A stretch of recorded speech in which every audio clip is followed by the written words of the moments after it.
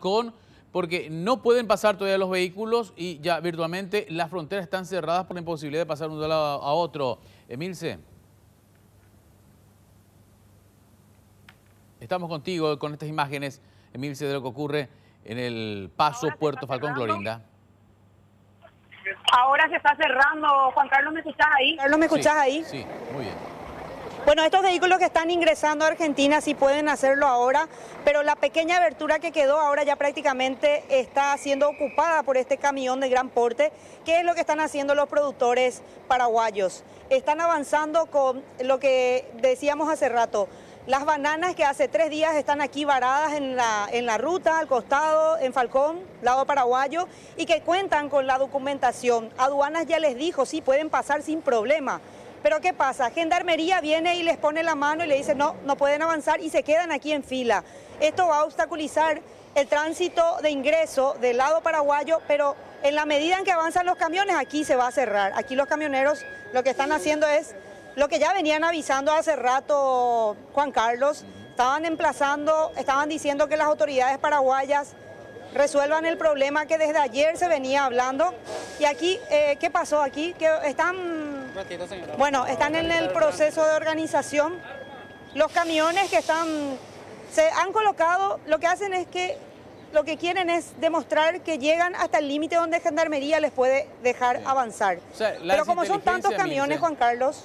Las inteligencias en entre las autoridades argentinas, aduanas por un lado de Argentina, Argentina y también la flaqueza, también la flaqueza de las autoridades paraguayas, dicen ellos, porque ya se sabía de este problema y el lado paraguayo tiene que otorgarle en cierta forma el AFIDI a los productos argentinos, porque ese es el problema de fondo. Hay, mil, hay cientos de camiones también en el lado argentino, al costado de la ruta en Clorinda, que son los comerciantes argentinos que quieren que sus productos también hay una situación relacionada a la documentación. AFIDI, lado paraguayo, tiene que facilitar esa documentación, pero en represalia, dicen ellos, se encaraman con los productos paraguayos y no, dejaron, no dejan pasar. Supuestamente, Gendarmería les dice a los productores paraguayos no pueden pasar porque aquí a 10 kilómetros hay bloqueo de ruta, cosa que no existe según dicen los productores bananeros. Ah, no existe. Y como tienen toda la documentación, eh, ¿Qué es lo último al final que le dijeron? ¿Fueron hasta hablar con el comandante de Gendarmería Argentina? Eh, el comandante dice que no hay seguridad para que transiten los camiones paraguayos. No, hay garantías de seguridad. ¿Por qué? ¿Y qué, le dijeron? ¿Por qué le explicó? Los protestantes amenazan con quemar los camiones. Pero en ese caso, ¿ustedes también se ven afectados? Así mismo. ¿Qué es lo que así mismo? Y nosotros estamos afectados porque hace tres días que nos están prohibiendo la circulación. Claro, ¿y ustedes tienen los documentos? Todos los documentos tenemos, tanto de, exportación como de importación. ¿Qué les dijo aduana argentina? Aduana no tiene problema en que entre los camiones para ser despachados, pero eh, la gendarmería es la que nos deja. Acabamos de llegar a la gendarmería ahora un grupo de personas, tres personas, el ingeniero Milcia de Sosa, el ingeniero Peña y yo, Alberto Lescano, pedimos un, un acta de por qué no están dejando ingresar, los camiones. Y fuimos echados como perros ahora de la, gendarmería, sí, con la amenaza de que vamos a ser este, detenidos y que vamos a ir al calabozo de la, de la gendarmería. ¿Así le dijeron? Como perros nos echaron, así exactamente, literalmente. Maltrato verbal. Maltrato totalmente. Yo le dije que este es un área de control integrado que es parte de Paraguay, la parte de la Argentina y acá la aduana de, Paraguay y la aduana argentina es una misma. es un control integrado. Allá es Paraguay todavía, acá es Argentina. Así mismo, así mismo. Y lamentamos esto porque son las propias autoridades del otro lado que no nos dejan entrar en detrimento de nuestra mercadería que se están pudriendo acá y los campesinos que están detrás de esto. Acá hay muchos productores, hay miles de productores, pequeños productores que están eh, cosechando su banana y están vendiendo así de a poco para que se forme un camión. Para, para poner 1050 cajas de banana se tiene que echar más de 1500 cachos se tiene que echar de banana. Y eso es todo un trabajo inmenso para la gente de la y que se esté pudriendo acá es una pena realmente. Tenemos 10 la pérdida Impresionante, impresionante. Y allá al otro lado hay 10 kilómetros de cola de camiones paraguayos que están viniendo con naranja, con manzana, que también se está pudriendo.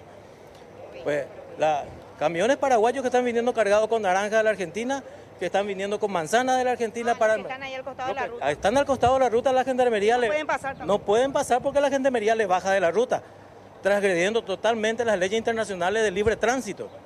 Ellos lo que tienen que hacer es garantizar el tránsito sobre la ruta, no sacarnos de la ruta y dejarnos varados ahí hasta que el chofer, el chofer hace dos días, tres días con este, con el de hoy, que no se baña, que no tiene, que, que no tiene comida, que no tiene agua y no nos dejan ni siquiera pasar hacia allá para... ¿Tu nombre cuál es? Alberto Lescano del Gremio de Transporte. Bueno, el Gremio de Transporte, las dos vías de acceso y salida a Paraguay están cerrados. Ahora mismo, Juan Carlos, como podés ver, los dos, los dos tramos, las dos calzadas.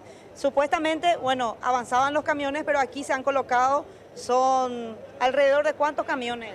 Y ahora mismo hay como 12 camiones con banana y debe haber como 7, 8 con carne. Alrededor de 20, más de 30. Productos perecederos. Y se están despachando en Chaco y hay como 7, 8 más. Bueno, esta es la situación. Ahí viene el señor, otro de los que fue para intentar hablar, Aldo Fanego, para hablar con el comandante de Gendarmería. ¿Qué, le dijeron? ¿Qué, pasó? Eh, nos echaron, no nos recibieron finalmente, ni siquiera pudieron explicarnos el motivo por el cual establecen esta medida, ¿verdad? Netamente nos echaron de su oficina. Y con la amenaza de que nos van a meter presos, ¿verdad? Eh, llegamos a ese extremo, ¿verdad? Eh, en zona primaria, estamos hablando de zona primaria. O sea, zona compartida. Así mismo, nos quieren poner eh, presos, ¿verdad? Sin haber infringido ninguna ley, por pedir hablar con él y pedir el documento donde se establezca la medida, ¿verdad? Porque esto no puede ser. Esto ¿Quién es... responsable de todo este caos? Porque viendo que ya es un, ¿cómo se dice?, un desencadenante de, de una situación Sí, sí, él es el comandante de la gendarmería, Cristian Robles. Él es el responsable, él es el que dio la orden de, esta medida. Pero tampoco explicaron quién les dijo a ellos para que les atajen. Es supuestamente por la manifestación y el corte de, ruta que no existe, ¿verdad? Por un supuesto está impidiendo que todo el comercio de, dos países se, se produzca no creo que ningún comandante en GB tenga esa potestad de cerrar fronteras, ¿verdad? En este caso está cerrando fronteras y no hay ninguna autoridad paraguaya que pueda defendernos, ¿verdad? Entonces, estamos queriendo hacer lo que por ley nos corresponde, libre tránsito y hacer nuestra documentación en zona primaria y somos impedidos por el comandante, ¿verdad? Que da órdenes, inclusive de que nos arresten por querer aclarar esto, ¿verdad?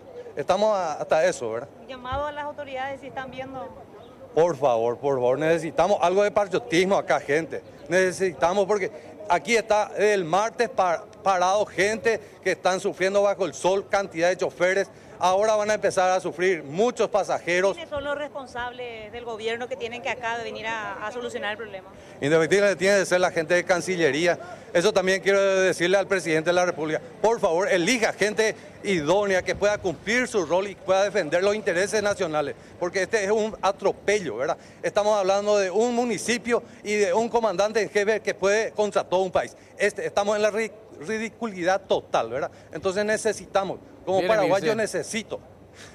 Bien, me dice, aumenta la, la, tensión también allí en frontera eh, con Argentina. Vamos a hablar contigo en unos minutos, vamos a ver también si se le da ya una salida a esta situación, si hay una intervención más decidida de Cancillería, como decía el, el hombre con quien conversabas recientemente. Volvemos contigo en otro momento, Emilce. Y ahora tenemos